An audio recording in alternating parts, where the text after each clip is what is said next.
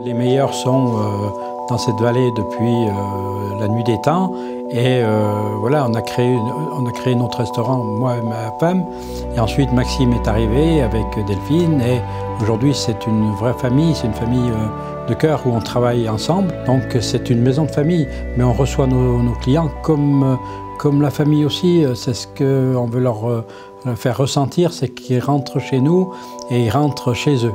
Je crois qu'il y a une atmosphère spéciale qui, ont mis en œuvre mes parents et aujourd'hui on est là pour la, continuer et essayer d'avancer mais surtout faut pas révolutionner, faut, faut, évoluer mais surtout pas révolutionner. Le lait c'est notre, vallée, hein. c'est les alpages qu'on a autour et le lait c'est ce qui nous a nourris depuis tout le temps, donc nourri euh, intérieurement mais nourri aussi euh, intellectuellement puisqu'on a essayé de trouver un, un dessert euh, qui était euh, d'abord qui était blanc. On a essayé de broder là-dessus, voir ce qu'on pouvait amener euh, avec des textures et des goûts euh, bah, qui nous sont propres. Le lait dans tous les états, ça veut bien dire ce que ça veut dire. Alors on a travaillé le lait de chèvre, on a travaillé différents laits, de brebis, de vache, de miel crémé.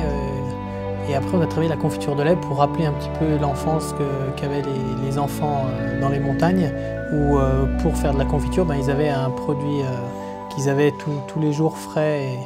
Et ultra bon et on faisait, ils avaient de la confiture donc en fait on a mixé un petit peu tout ça et ça a donné ce dessert. La famille c'est aussi tous nos, tous nos voisins, c'est tous ces gens qui, nous, qui ont cru en nous et qui, ont, qui nous suivent aujourd'hui, qui sont très fiers de ce qu'on a fait, ce qu'on a amené à cette vallée et aujourd'hui ben, la famille c'est tout ça, c'est voilà, une très grande famille.